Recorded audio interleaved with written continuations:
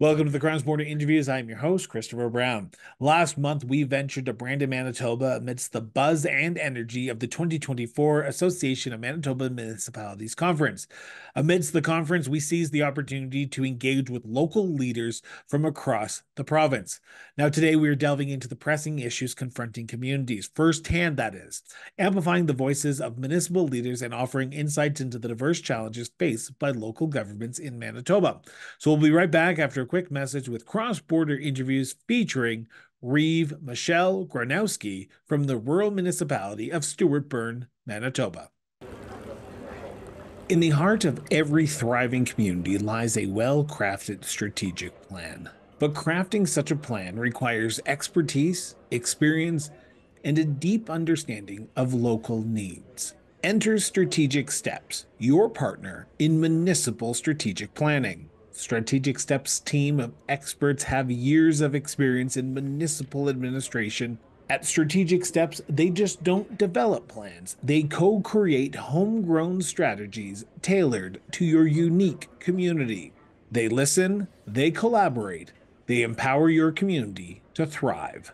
Contact Strategic Steps today and take the first step towards a brighter future for your municipality. Call Strategic Steps at 780 416 9255 or visit strategicsteps.ca to get started. Michelle, thank you so much for doing this. I want to start by asking a, a, simple question, but it's an overarching one. Where did your sense of duty to serve your community come from, Michelle? My mother. How my so? mother and my grandmother. Uh, my mother was a nurse. My grandmother was a civil servant up in northern Manitoba, up in the Pas. And one of the things you always did was you gave back to your community because we always had more than some, less than others, but we were always very grateful for everything we had. And my mother raised us, 10 kids, that you always gave back to your community. It's major important.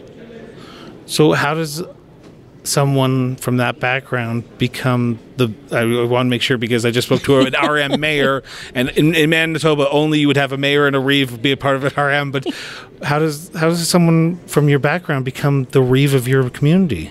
Requested by the constituents? Really? Yes is that I, all it took you? it's well it was something I've never thought of doing. I was the president of the Manitoba Government and General Employees Union for 10 years.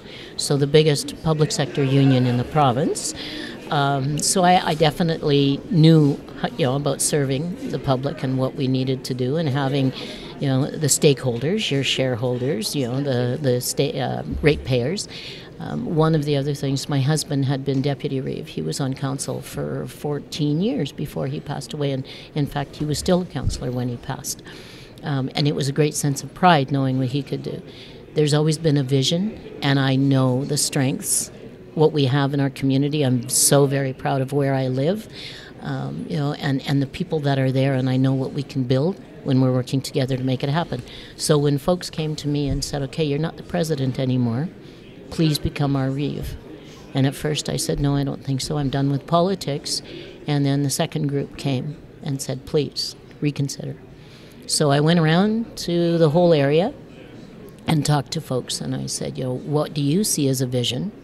To see if whether my visions would actually match meet you know, what their expectations were that my job would be. And uh, yeah, I ran and won and love every minute of it. So I'm going to ask a sensitive question if you don't mind. Absolutely. Um, first off, uh, your husband served for 14 years. You are now serving in that same capacity, in, in that same he council. Was, he was a yeah, same same RM. Okay. He was a councillor and a deputy reeve, and so you you sit in the same room that he sat and made those decisions. Now you're yes. making those decisions. How impactful is that for you to sit there and Huge. have that connection with someone you've loved and have lost, and now you are sitting in the same room that he did to make those decisions? It's it's actually a sense of honor that I have. I know how committed my husband was to his community. There are oftentimes the kids and I would joke that his community came before us. It was the cows, the community, and then his family. um, so to know that I'm actually kind of carrying on a legacy. He's seen a lot of the vision of RRM and where it could go and the growth that we could have. And he always seen the value. Yes, there's lots of negatives, but there's always so very many positives. And the positives outweigh the negatives. So to be able to do that is pretty awesome for me. So I want to talk about the RM as a whole, if you don't mind. I want to ask a stupid but overarching question again, but it, it's one that I think I know a lot of the answers to, but it's always interesting to hear from the people who are actually serving in this capacity. What do you see as the biggest challenge facing the RM today? Funding. Funding how? Funding to be able to build and expand within the, the municipality. We only have about 1,750 ratepayers, to, and we have a very large area with many, many, many concerns. So, so are you part of the one? Are you one of the RMs that were sort of made post amalgamation, or no? Okay, no, we we were an LGD, the local government uh, district, okay. and then became okay. Yes, the, the municipality. Um, but so the the funding is our biggest challenge, uh, and inheriting what previous government um, handed down as the responsibility to the RMs, aka our roads, um, drainage, the ditching, you know, and what do you do? Along with all of that and the challenges and not having enough funding, we have endangered species. So we are the RM. It's one of the only places in Canada, and I think only the second place in the world, where we have a fringed orchid and it is yes I, I know very well kept secret but not.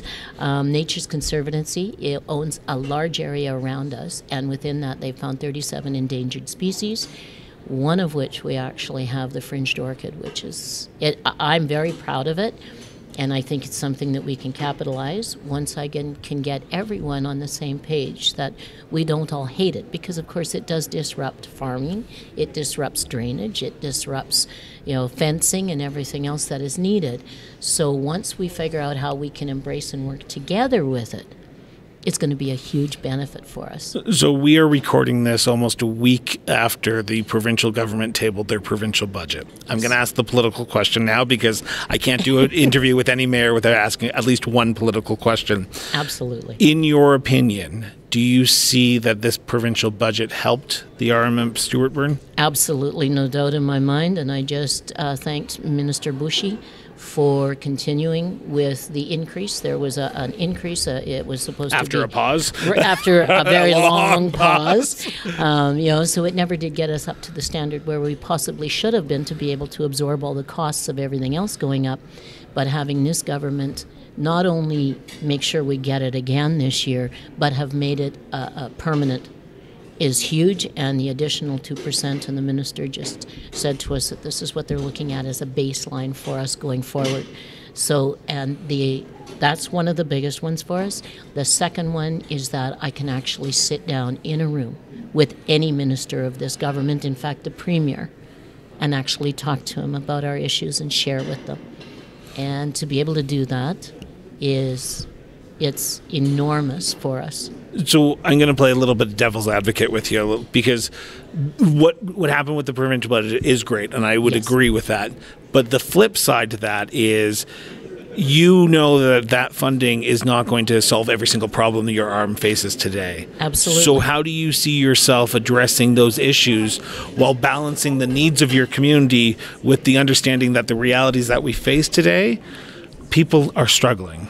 They people are. are hurting, and you don't want to do it on the backs of the people who are there. Exactly. So how do you we, how do you and I say you as the royal you do that as a council? Uh, we partner up.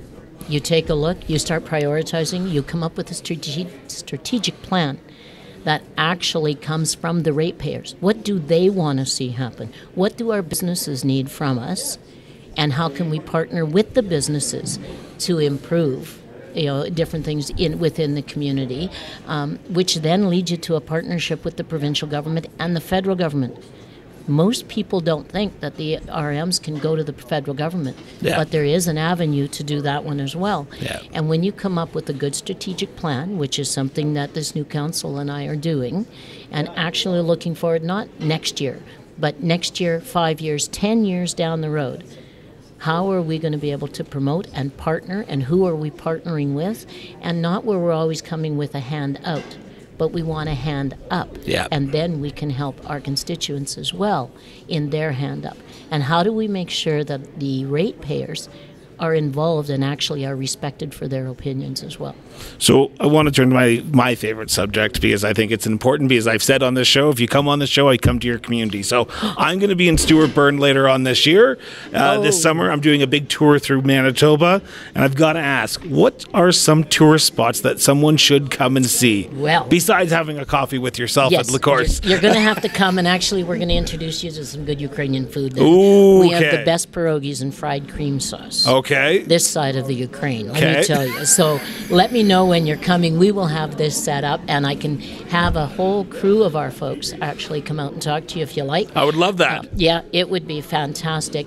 Um, some of the, the we have a huge multicultural community. It yeah. started off Ukrainian in the early 1900s, late 1800s actually, and we're capitalizing on the fact that we were actually the very first Ukrainian settlement in the province of Manitoba. Oh wow! And we now have proof of that. So we're starting to look at the tourism and what can we do. We have the oldest Ukrainian Orthodox church in Canada is in our RM. We have a huge Amish community that is absolutely phenomenal to, to just to be able to go out and watch them and how they do their haying when they're doing it with scythes and sickles and they're actually using team of horses in the wagons. Um, they're they're on their they're moving. They're going to be relocating, but we have old order Mennonites that are basically along the same. They don't oh, use oh, the technology of today, and uh, I've been helping a, a lot with. Um, some of the issues they've had.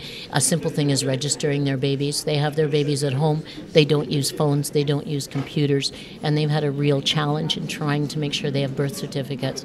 So I've been helping with that, and it's amazing to see how technology can leave out a whole community without even recognizing that they've been left out. So we have that. We have the Gardenton Park and the and the uh, we now call it multiculturalism festival because there's so many. We have a Filipino community in our area as well. We've got a Mennonite area. Um, and there's so much that goes on. Well, I'm looking. You have to come. I'm looking forward to it. My last question, and it's yes. the important one. Okay. What makes the RM of Stuartburn such a unique place to live, to work, and to raise a family? The people. It is the people, absolutely. There's no if, ands, or buts about it. Um, like I say, it went from a Ukrainian to a Ukrainian Mennonite to a Ukrainian Mennonite French, and now we've got the Filipinos, we've got the Amish, we've got the Old Order Mennonites coming in. Uh, we have Vietnamese. We now have a Vietnamese restaurant within our community as well. Oh. So the people make our community, and very proud of them. And I'm very honored to be representing them and to sit down and have a coffee with anybody when they come through. I always try and sit down with newcomers that come in and explain. My husband had a tradition that he would do. And I'm not Ukrainian. I'm from Nepal, actually, originally. And uh, but I, learned. I, I taught myself how to make the 12 meatless Ukrainian dishes. Oh. And we would do Ukrainian Christmas Eve. And my husband would welcome a family uh, newcomers into our community, and they would join our family for Christmas Eve, and we would go through the whole traditions and explain it to them. And we have lifelong friends since then. So. Michelle, I can't wait to come up to the RM. So thank you so much for sitting down thank with you, me. Chris. I and can't I, wait till you come. I'm going to be showing up. I, am going to take you out and show you everything we've got. That's so, what I like to hear. I want the mayor, the Reeve tour. Yes, you will get it. We want to thank the Association of Manitoba Municipalities for inviting us to this year's spring convention in Brandon, Manitoba. This episode would not have been possible without their support. Now, if you've enjoyed today's episode, hit that subscribe button now. Stay in the loop with all our diverse content covering everything from municipal affairs to our in depth conversations with municipal leaders from across Canada on the cross border interviews or our eye opening exploration of local governance in the political trenches, local government at work. We are your go to source for comprehensive municipal coverage from across Canada, committed to keeping you well informed as well as engaged on the issues affecting municipalities. If you can, consider backing the show. Every contribution, big or small, goes a long way in amplifying the depth and the breadth of our programming. Find the support page link on the Cross Border Interviews website today. Until next time, stay informed, stay engaged, and most importantly, but as always, just keep